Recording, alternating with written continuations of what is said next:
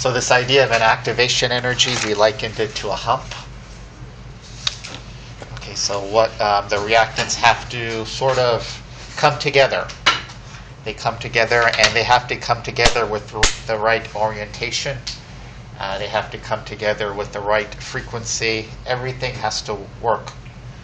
Everything has to be in harmony so that you can get a reaction. And sometimes the reaction products are lower energy. Okay, we call that exothermic, the lower energy. Is exothermic um, the remaining energy? Remember, we're, we're at a lower energy space, so that energy gets released. If they are at a higher energy, you need to compensate it by giving in energy. That would be an endothermic. But this activation energy is dubbed EA. And um, it's just the hump. So let me see if I could switch. If you're online or watching this um, on the internet, and you're not going to see this. But um, the idea is putting a sweater on a child. So I tried to explain it during Friday's lecture. So let's see if we can do an animation here. Not an animation, but a cartoon. So I'm going to switch here. Do we got it? No? We have it one more time. Yes. All right. So just bear with me here. So kind of the same deal here. Okay. So forget about S and P. P stands for products. But I just want your attention to be focused on this hump. Okay. The mountain. Okay. We have to scale the mountain. The reaction has to scale the mountain. So here's a kid or a child with a sweater. Okay. Our goal is to take off the sweater. Friday's lecture, you know, we had to put on the sweater on the kid. Here we're going to take off the sweater. Okay, so doesn't just happen by itself.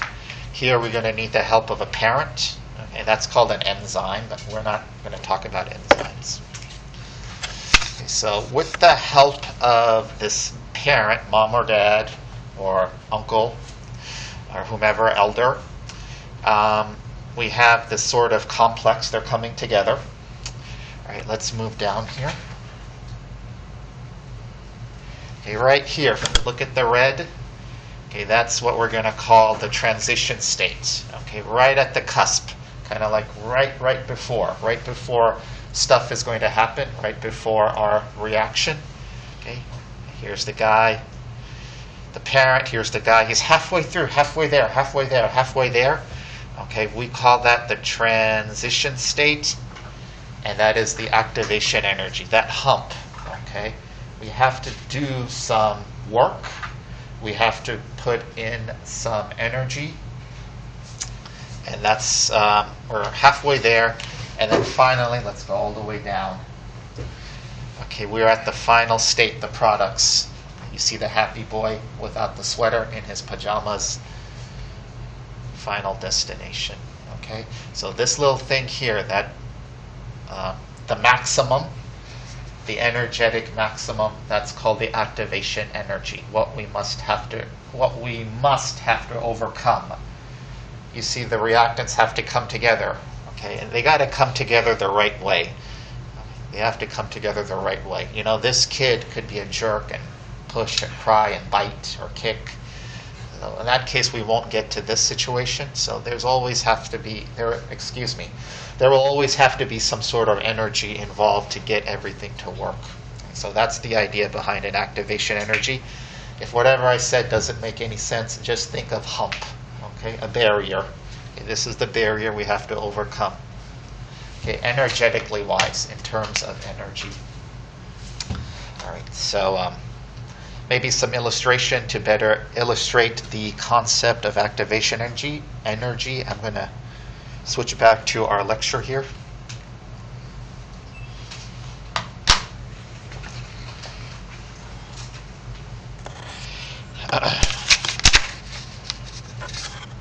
right. Um, we're going to wrap up chapter 13.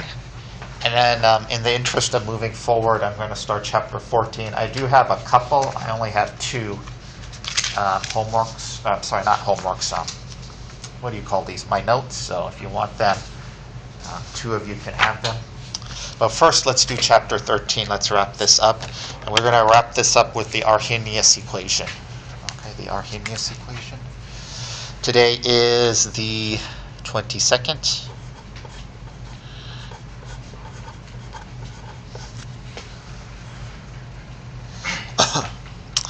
All right, so remember in our previous um, test, um, I told you about um, temperature on the x-axis and vapor pressure on the y-axis. It was a question on the exam. Vapor pressure is quoted at a specific temperature. If you look at this graph, um, it has a shape like this. Lo and behold, it looks exactly like this is another one of this is another one of those weird things in science. Uh, this graph looks just like this graph here. All right, in this case, we have temperature, same temperature on the x-axis, but what we have here on the y-axis is this lowercase k rate constant. So very interesting indeed how we see um, two totally different concepts, um, but they have a lot in common. Okay.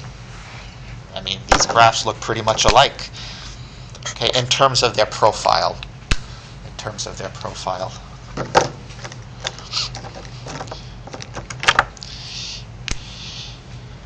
Right. And like I mentioned, vapor pressure quoted at a specific temperature. It was a test question. Uh, I want you guys to know that rate constant K is quoted at a specific temperature, lowercase k.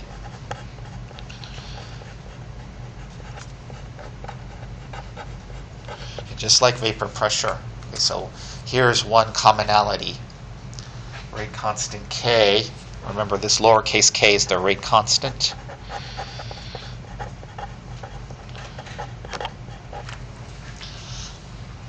Which means, let's move on to the next page here.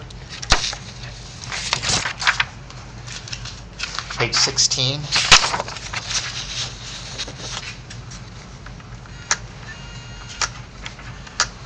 which means that um, we have a rate constant K1 at T1, some temperature T1. and um, let's change the temperature of the reaction to T2.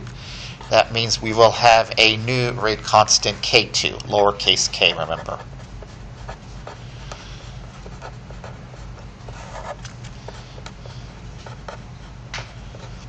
Okay, let me ask you this question here if we raise the temperature, what do you think should happen, should happen to rate constant K? All right, I heard increases, and that's correct, okay? Usually when we raise the temperature, things go fast. Okay, the molecules are starting to dance more. More chances for collision more chances for collisions, more uh, statistically, you have a chance to get and achieve your activation energy. So temperature makes things happen in terms of a chemical reaction. So correct. Okay, whoever said that, thank you. So let's talk about the relationship between K1 and T1 and K2, T2. See, it turns out that um, you give me three, any three, and I should be able to solve for the other fourth unknown. And this is called the Arrhenius equation. R, however you spell it. Arrhenius equation.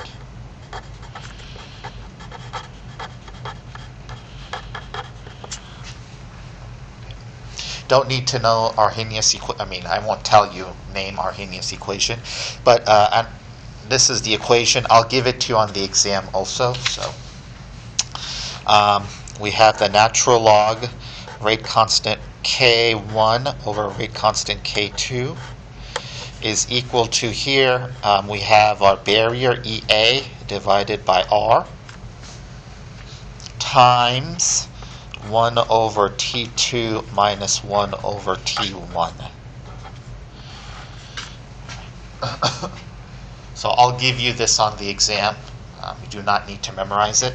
I will also give you R. Okay, R here is um, R is 8.314 joules over mole Kelvin. Well, it's a constant. I'll give that to you.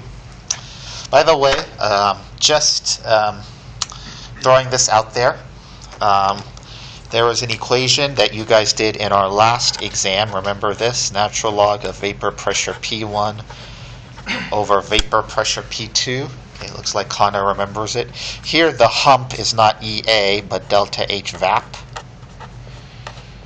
divided by R times 1 over T2 minus 1 over T1. Okay?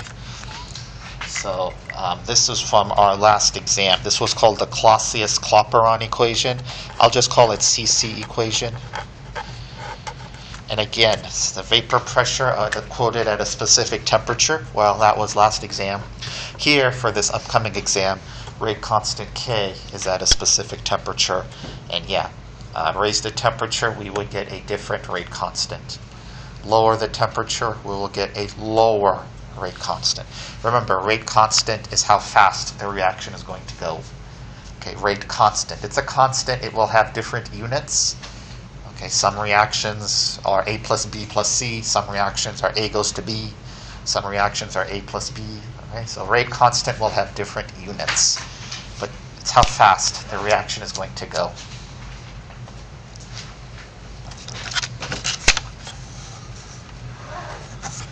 Right, so here, um, so here are the two equations, but this is the one we're going to focus on.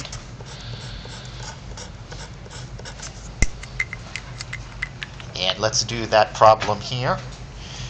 Okay, this Friday you'll have a lab, and it's really a doozy of a lab, especially the post lab, where you do the Arrhenius equation, and then you do rate laws and rate. So it's a it's a good lab, but it's very intense. So, um, but it's a good lab. And, uh, think we're learning the real data, real life, real chemistry is kind of messy. I know I saw that with you guys on um, Friday's lab. Anyways, let's do a practice problem here. I'm pretty sure you'll see this type of problem on the exam, so make sure you are working on your quiz two, everyone.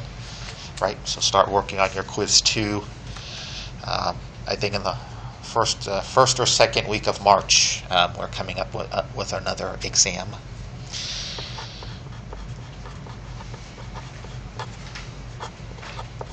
Right, here's an application of the Arrhenius equation. So let's uh, do this thing. Okay, the first order rate constant, first order, for this reaction of methyl chloride with water to produce methanol and hydrochloric acid is 3.32 times 10 to the minus 10 inverse seconds. Okay, note the units at 25 degrees C. So we'll call this K1 and T1. Okay, notice the units here. So K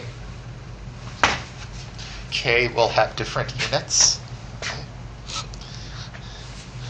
In this case, uh, inverse seconds, seconds to the minus 1. Calculate the rate constant at 40 degrees. So let's call this um, K2, or T2, I'm sorry. Let's call this T2. If the activation energy, that is EA, is 116 kilojoules per mole. All right. So perfect problem. K1, T1, T2, what is K2?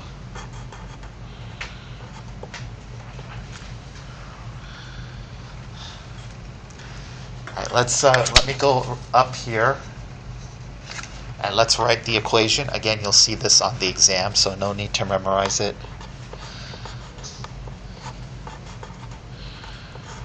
This is called the Arrhenius equation, remember?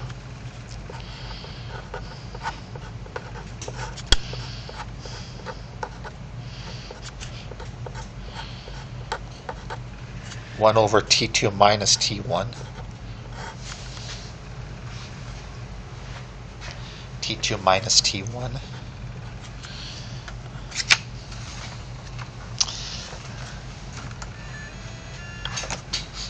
Right, the first thing I would do, step one, is uh, you see here R has the units of 8.1, 8.314 uh, joules over a mole Kelvin. That's just a constant. Right, but you notice your activation energy is in kilojoules per mole. Kilojoules per mole. So for me, what I would do is always make sure your units are okay. Make sure your units are fine and dandy. So I'm going to convert uh, the activation energy to joules per mole. Is that okay? Convert EA to joules per mole. That way I can get my units to cancel out. So um, that's going to be 116,000 joules per mole. Multiplied by a thousand.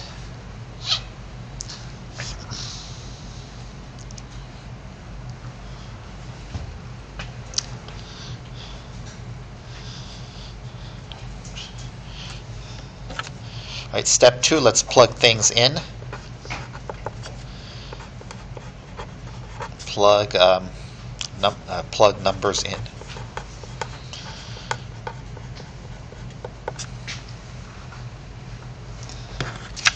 All right, I'm going to continue that here. Natural log of K1. Let's call this 3.32 times 10 to the minus 10 divided by K2, that's what we want to solve for. You notice here, calculate the rate constant at 40 degrees.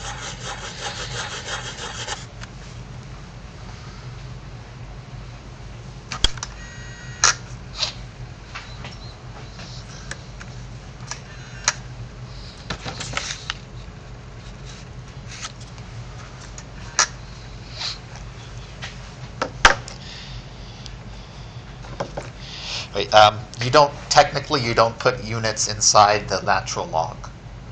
Okay, that's just a math thing, so no units inside. But in the final answer, please please put your units. Equals EA. So that EA here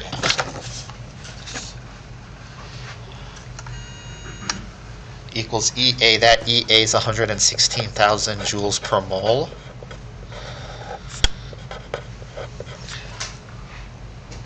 R is 8.314 joules over per mole Kelvin. Okay, times 1 over T2. Okay, so T1 is 25 degrees. Okay, what units do we need to put these in? Kelvin. So what's 25 plus 273? 298 Kelvin. T2 is 40 degrees. What's that? Plus 273 is 313. 313. 273 plus 40 is 313. All right, so 1 over T2, so 1 over 313K minus 1 over T1, which is 298K.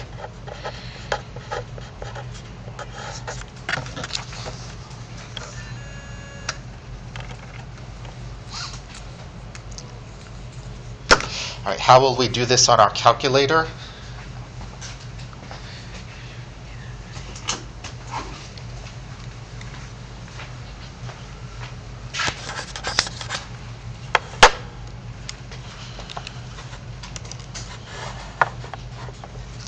I'm going to first do all of this. Okay, so 1 divided by 313, is it that?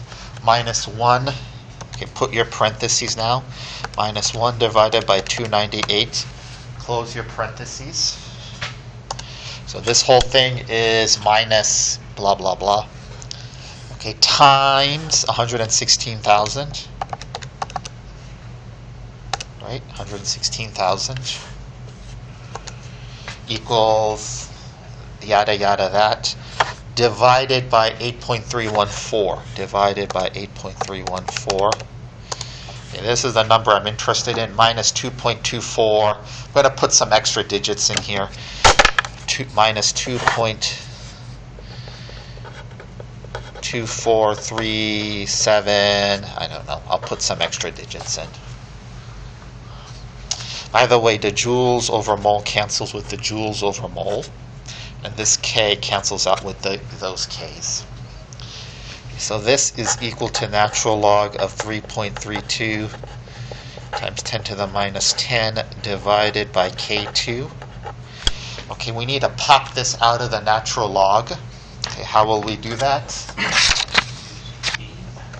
Very good, correct. Okay, we will take the inverse natural log. Okay, so take e of both sides of the equation.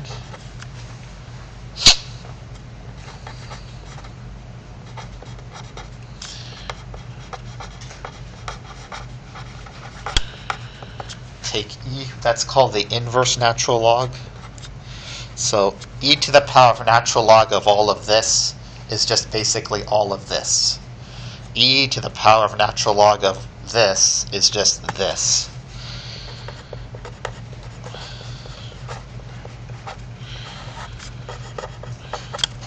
equals e to the power of minus 2.24377.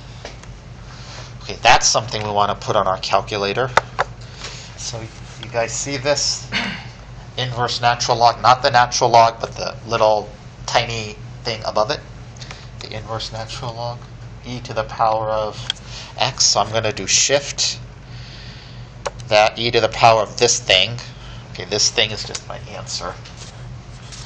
Close the parentheses. 0.10605 is that. So this whole thing comes out to 0.10606. Just put some extra digits there.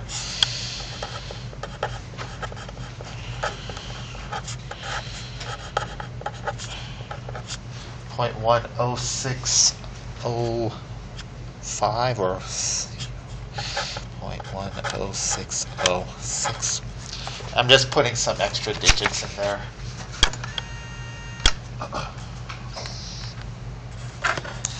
Right now we'll solve for K2. Our rate constant K2.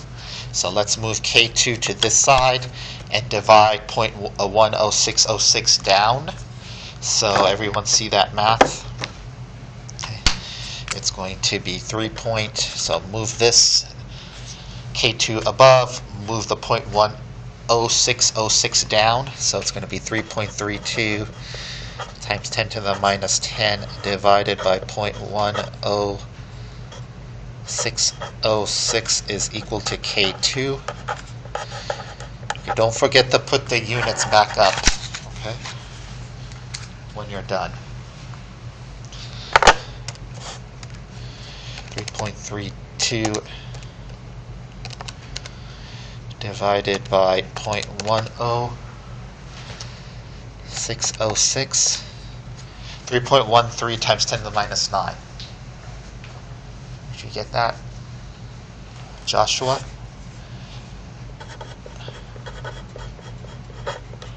Okay, don't forget to put the units. Units are seconds to the minus 1 units. number is meaningless unless you put units by there. And that's the answer. So let's just take an inventory here. Let me go back here. At T1, they tell us K1 is equal to 3.32 times 10 to the minus 10 seconds to the power of minus 1. We raise it from 298 to 313 and what is our new K2? We just calculated it. 3.13 times 10 to the minus 9.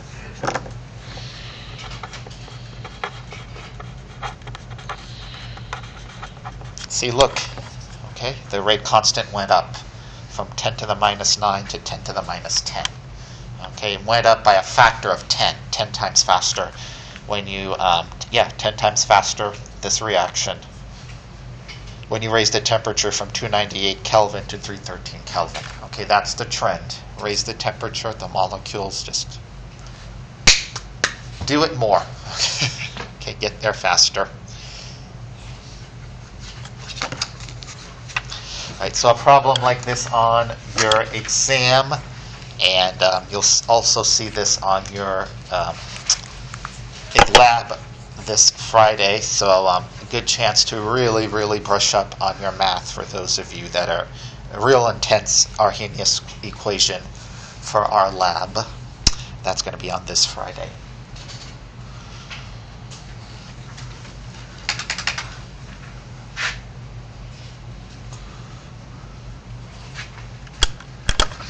The last bit of information here is on catalysts.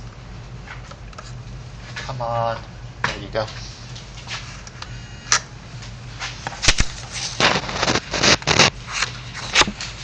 All right, so I'm sure for the biology majors, uh, you probably already know, even your exercise physiologists, all the, I'm sure all the science majors know what a catalyst is. Uh, in this context, in this chemistry class, I just want you to know that a catalyst does two things. Um, it will, number one, make the reaction go faster.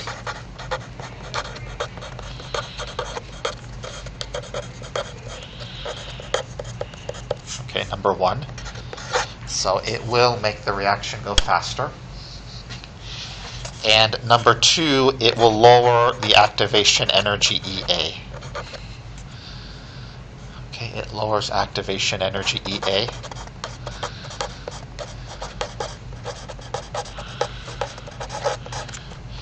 And let me add number three here.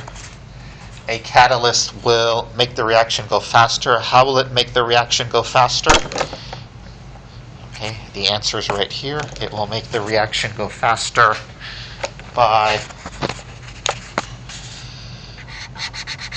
increasing rate constant K.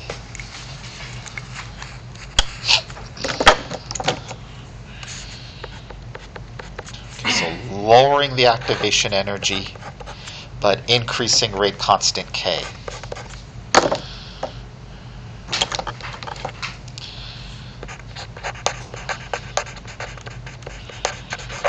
increasing k, uh, k, lowercase k.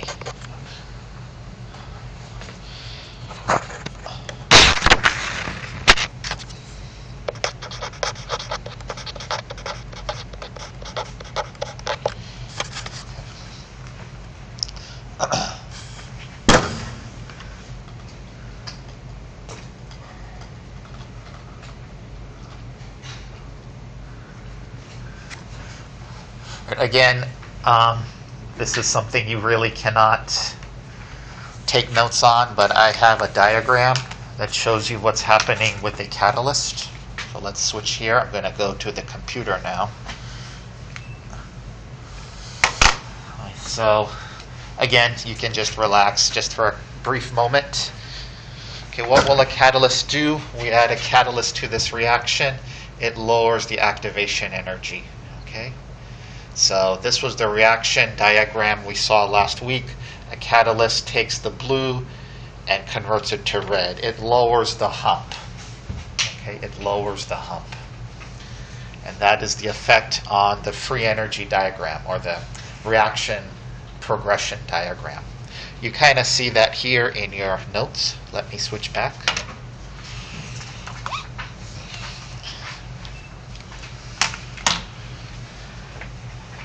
If I zoom in, you actually see in the presence of a catalyst, okay, the EA has gone down. Okay, whereas without the catalyst, the EA is this. Let me tell you about a catalyst here. Again, this is not something I can really test you on. This is kind of interesting. Uh, if you take H2O2 from Walmart, Okay, H2O2, just regular Walmart 3%. Um, it could actually break down into H2O and oxygen. Okay, so this is a reaction that does that. Uh, well, that could be a problem because when you go to Walmart to buy hydrogen peroxide, you're not going there to buy water and O2 gas. Right? You're going to buy hydrogen peroxide to do whatever. Well, let me tell you this. Um, this is a fun fact or f- interesting story. If you take H2O2 that you get from Walmart and um, you put in potato. Potato. You're going to have to chop up the potato and dice it and, you know, break up the potato cells. Um, you will get H2O and water in a matter of seconds to minutes. It depends on the concentration and all that stuff, but you will get this reaction in seconds to minutes. Okay, so chop up a, chop up a potato, cut it up, dice it up, real small cubes, put it in some H2O2, hydrogen peroxide, and you'll get water and you get oxygen gas. How do you know you get oxygen gas? Bubbles you get oxygen bubbles. And that tells you the reaction is going. Right, so what the potato is, the potato is a catalyst. Okay, catalyst.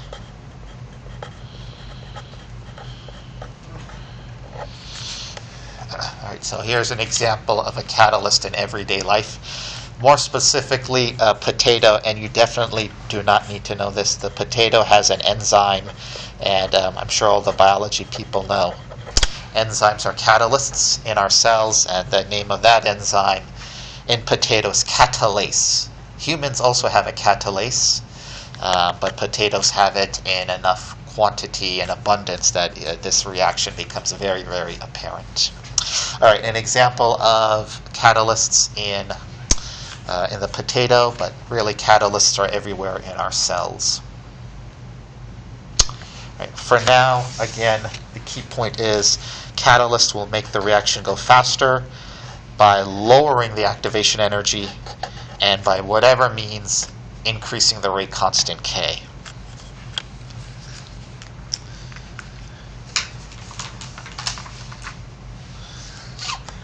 So that is chapter 13. And maybe the last 10 or 15 minutes, I'll move on to chapter 14. I'll take a, this pause and ask if anybody has any questions or comments.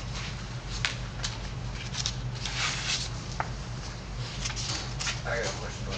Uh huh. Um, for the quiz that we were supposed to submit, uh, it shows two of them on, on my end, it shows two. All right. You, um, I made another one called Upload Quiz here. Right. Okay, well, I think both of them say upload. Really? Yeah, or you're. I'll just pick one. We'll figure it out. I did, and it wasn't graded, so, but I. I did- Oh, we're still going to grade it. We're Okay, still I in was the just process making of sure. grading it. Yeah, we wanted to get I the need tests to- out. If I needed to upload it in another one, I will, so, 'cause there's, there's like two. Yeah, I, I, I think Adriana found Yeah, when. I clicked it the first time, it said that you couldn't submit a paper, so it was just like a regular quiz, it was like click request, Right. there was no questions. So then Yeah, that's Canvas. Another one, and then it came back, so, I don't know. Uh, that's Canvas crap. I hate it. But figuring out the answer. anybody want a copy? I have two extra copies. Sorry, sorry. Want to follow along?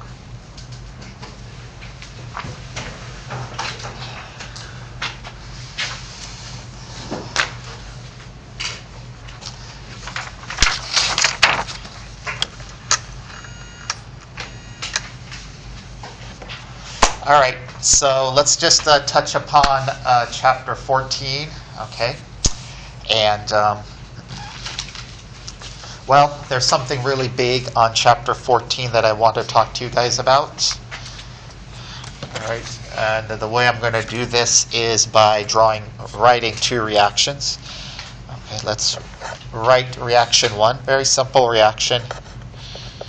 A plus B goes to C plus D. Okay.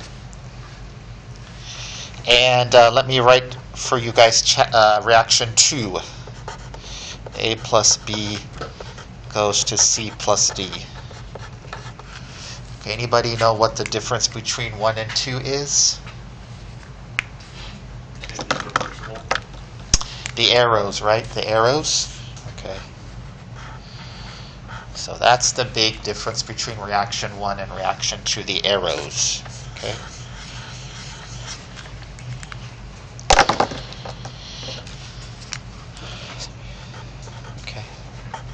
You see reaction one goes to 100% completion.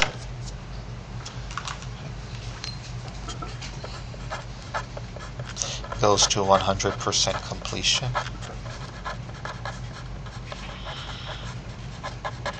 Reaction two does not. Okay, reaction two does not go to 100% completion.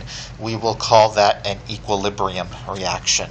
Okay, so first of all, it does not go to 100% completion.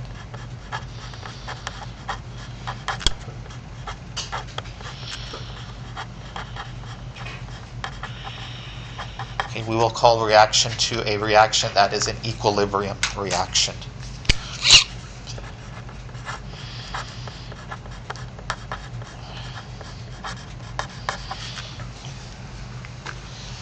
All right, so that's the first super, super, super important point about chapter 14. Okay, look at the arrow. You know, anybody remember in high school you're taking your driver's exam? Your driver license, uh, who's the guy, driver's ed teacher say, you got to check the rear view mirror, you got to check this, you got to look there. When you're changing lanes, you got to look at this. Um, uh, you check your accelerator, check your speed. When you were 16 or 17, I remember it. Um, well, in a chemistry problem, you got to look at everything. Okay, you got to look at everything.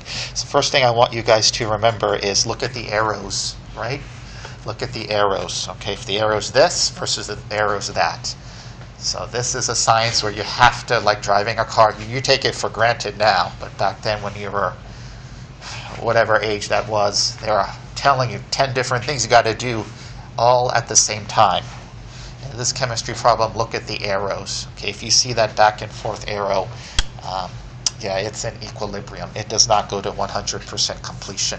Okay. In fact, uh, someone, I mean, I got my PhD in biochemistry. Most of the reactions in our cell actually are this, are number two, not like number one. Okay, most of our reactions in our bodies are this way which means that, um, let me see if I have this out here. Okay, yeah, here we go.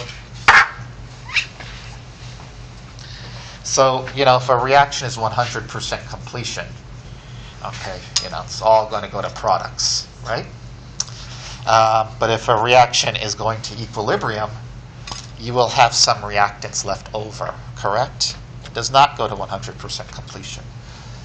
Okay, so how much of it does go to completion? Is it 60%, 70%, 80%, 90%? Not 100. Okay. Or does it go to, I don't know, 45% completion, 30%, 10%, 5%? Here's this reaction does not go to completion very well, okay, because we still have reactants left over. Okay. So which way is it going? Which way does it tilt? More products or more reactants? Okay, it could even be 50-50. It could even be 50-50. 50% reactants, 50% products. Does it go this way? Does it sway? Or does it go that way? Does it sway? Or does it go 50-50?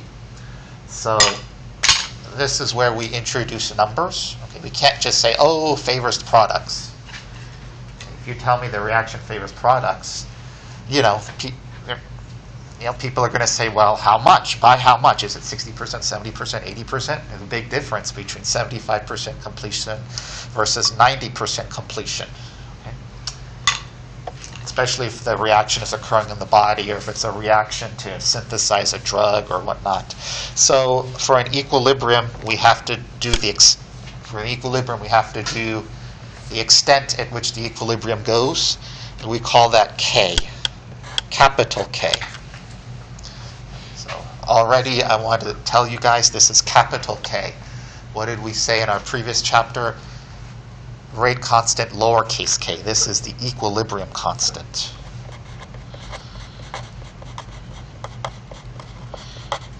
This is where a lot of my students get confused many years, you know, five years here at the Methodist campus. So, um,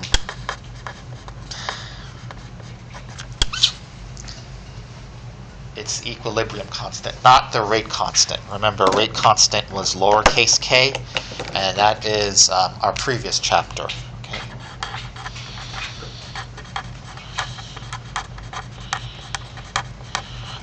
two totally different things. Okay.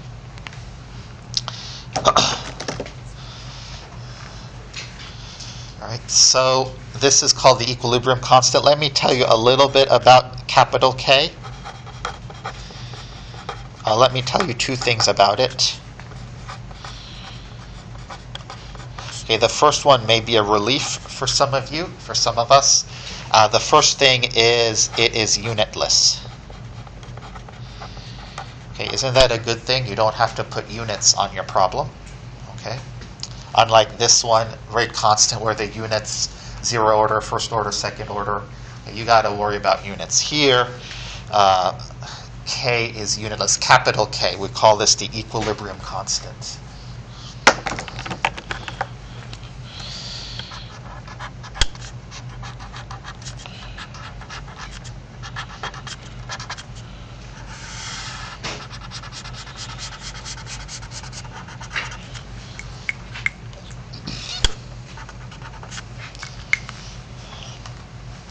Uh, number two, it's quoted at a specific temperature. So those are three things now that are quoted at a specific temperature. Vapor pressure, rate constant, and now this equilibrium constant, so quoted at specific T temperature. So if you do an equilibrium reaction, if you do an equilibrium reaction at a higher temperature, the equilibrium constant will be different. Why are you blurry? Or do I need glasses? Okay, I think that looks better.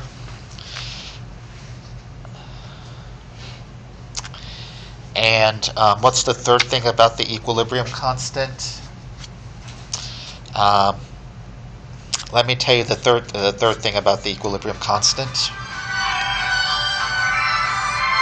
I'm sorry. that came on the recording. um, and that wasn't even a real call. It's like spam. it wasn't even worth picking up. Well, obviously, I'm not going to pick it up in the middle of class. The third thing about the equilibrium constant, let me tell you.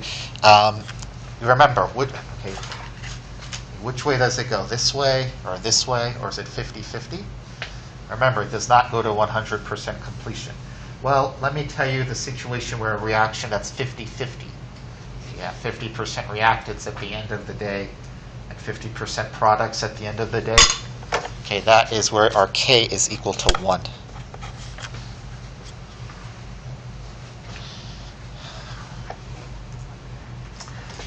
If our reaction favors the products, that is, we have more products at the end of the day, at the end of the hour, at the end of the year, at the end of whatever time, our K is going to be greater than 1. And then finally, at the end of our reaction, at the end of the hour, at the end of the day, at the end of the year, whenever the reaction is done, complete, if we have more reactants at the end, okay, our magnitude, magnitude is going to be less than 1.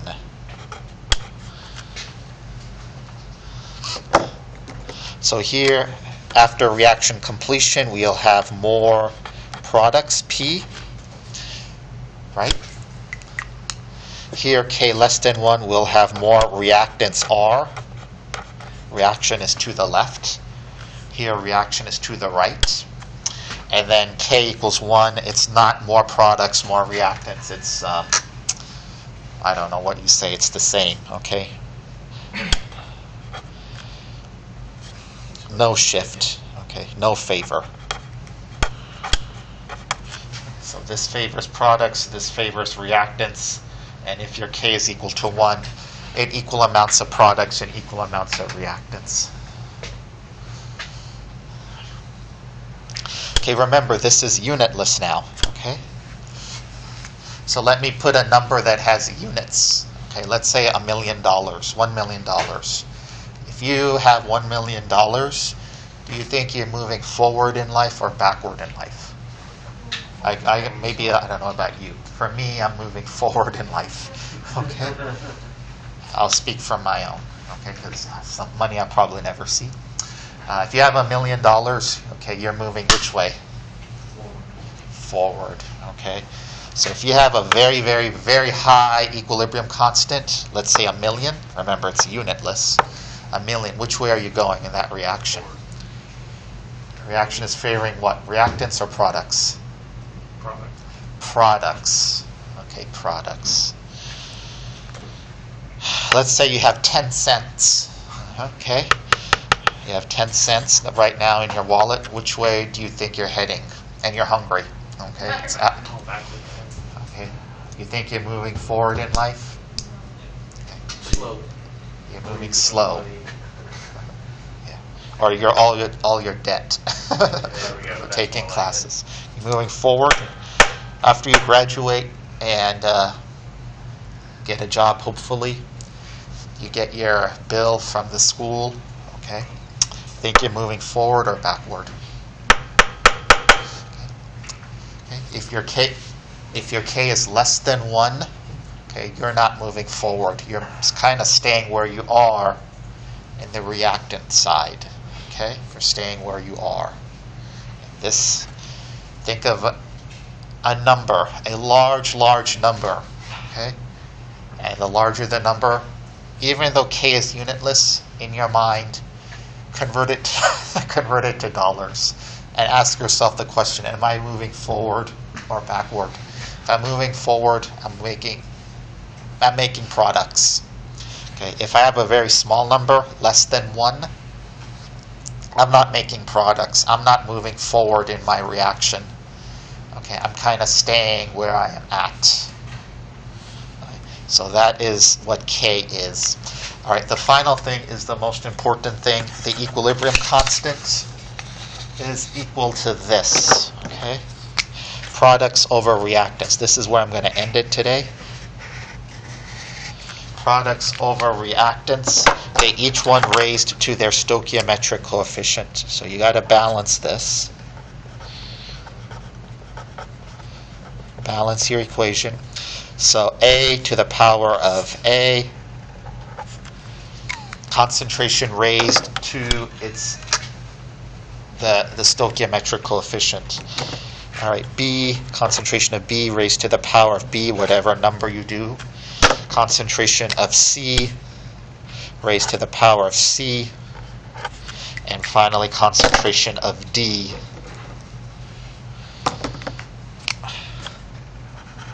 raised to the power of D. Okay? So you got to balance your equation. It's raised to the power. And then the most important thing here is no solids or no liquids.